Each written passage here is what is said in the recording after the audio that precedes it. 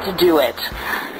You know, it wasn't my decision, although I'm completely thrilled to be part of the project. It really has been in the works for a couple of years, and basically it was, you know, some of our CNN executives and editorial, um, you know, leadership who said, we want to do a story that fully fleshes out what it means to black America. And then we kind of looked to the 40th anniversary of the assassination of Dr. Martin Luther King Jr., and, and that was kind of how it was handed off to me.